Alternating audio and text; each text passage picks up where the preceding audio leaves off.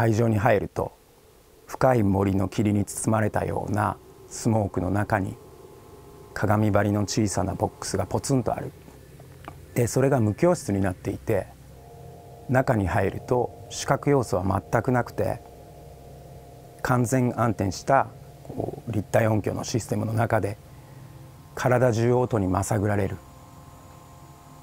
それで気配を感じたり幻聴を感じたりある時は頭蓋骨の中だけで音が響いたりと非常に得意な体験ができますフィールドレコーディングした人々のどこか記憶の片隅にあるような音を聞いたことのない反射自然界では起こり得ないような空間性人工操作をすることによって体験者の脳内に耳で見るっていうある種共感覚的なこうファンタジーが立ち上がるんですね。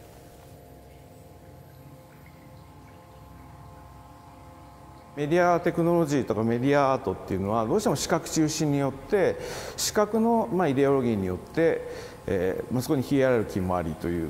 そその中でのヘゲモニーの中で生まれてきたものに対してそれとは全く違う聴覚によるですね空間の生成あるいは時間の生成そういう生まれてくる感覚っていうものが我々の新しい空間や身体性に対してどういうものをこうもたらしてくれるのかっていうことをその全体のコアのこう、まあ、メタフレームとして据えていくと非常に重要なポイントになっていて。なんかこう子供の頃にこうなんか夜空を見上げた時だったりとかすごい遠い過去のことを想像してみた時だったりとかまたはこうずっと忘れられない夢を思い出している時なんかそんなことにすごい近いような感覚っていうものが蘇った。それがすごく芝居ワイヤーズをの尽きない魅力かなと思っています。そもそもそうですね。面白いのは聖地っていうのは実は音の反射が面白い場所だったりするんですね。まあ、明治神宮しかりその歌木にしかりそういうのを自然の中からこう東洋の人たちは見出してここに何かがある。でここに何かがあるってものはそもそも音の反射言葉の前にあった音っていうものからこう何て言うのかなこう更新してるようなところがあって見えないものをどうデザインにしろ建築にしろ考えていくってことが大事だと思います。エバーさんの、えー、音楽の方向性そのもの自体は私はすごく東洋的な感覚があると思っていてそれはやはり楽譜には寄付できない響きだったりとかその空間とどんどんどんどん交わっていく感じ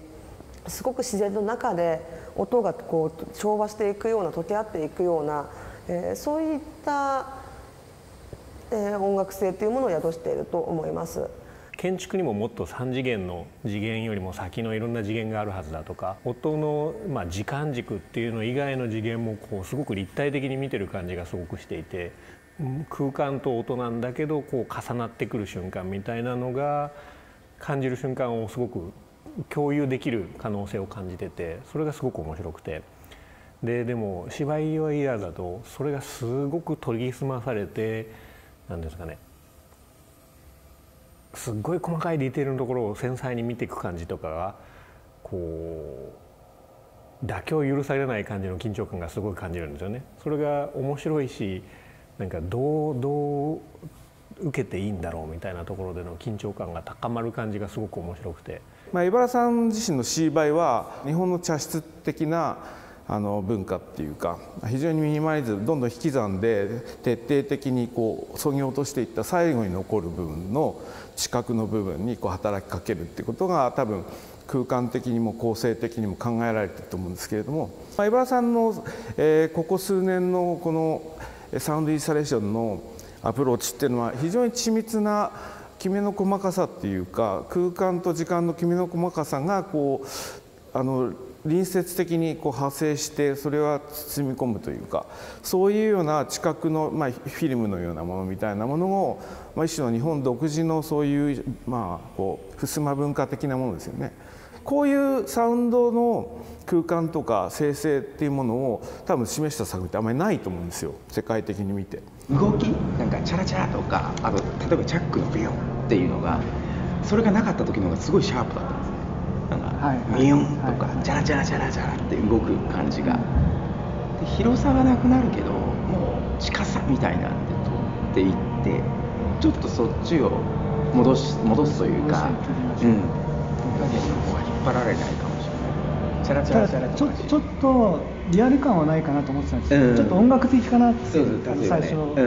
時に、であれ足すことでうん。リアル感あるなっていうのと、まあ、あと,、うん。えー、と最初がガサガサガサとキュッてなってから、あの B フォーマットうん。に外のガーッとね。あの時のここの感抜けじがた感じここの感じがやっぱりあの低中域を足してあげないと出てこないですそこのバランス。その時はすごい綺麗なうん。粒立ちが出てるのでやっぱ上げた分だから迫力はあれぐらいあっていいな、よかった。聞いてきて。